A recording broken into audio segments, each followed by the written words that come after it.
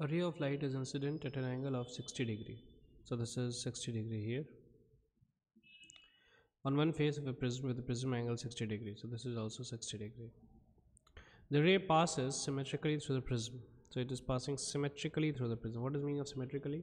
Symmetrically means it's going to be parallel to bc and i is going to be equal to e find the angle of the minimum deviation delta m and the refractive index of the material of the prism so you see if this is 60 degree this also becomes 60 degree.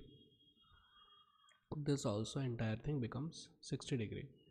And for the angle of minimum deviation okay for angle of minimum deviation i should be equal to e which is 60 degree in this case. That is first thing. Second thing is that i plus e is equal to deviation plus a so therefore we can clearly find i is equal to e that is 120 degree minus e a sorry that's 60 degree. So therefore delta minimum becomes 60 degree. Okay? So find the angle of illumination that is 60 degree and the refractive index. Okay so now uh, since this is 60 degree delta m is 60 degree okay? So, uh, and a is, a is 60 degree. So therefore we can see here that since it is 60 this has to be 120 degree as this is normal and this is also normal okay this is 120 degree now r1 should be equal to r2 this should be equal to 30 degree because in triangle Q N R है ना Q N are अगर देखिए ध्यान से तो ये अगर 60 है ये 90 है ये 90 है क्योंकि ये तो नॉर्मल है ना तो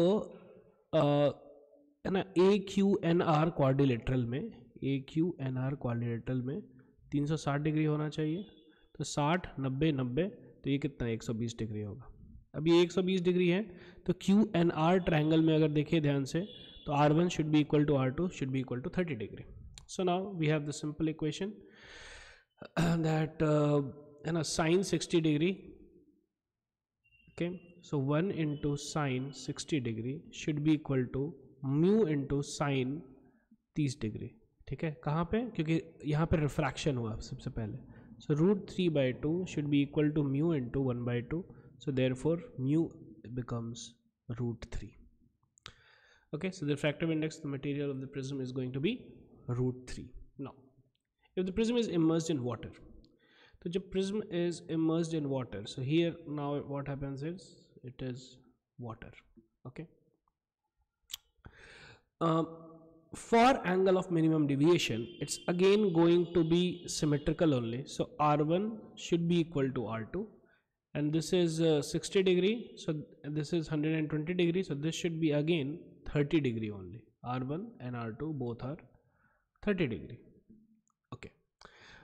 Uh, but now it is immersed in water so therefore water ka uh, refractive index is uh, like uh, 4 by 3 no?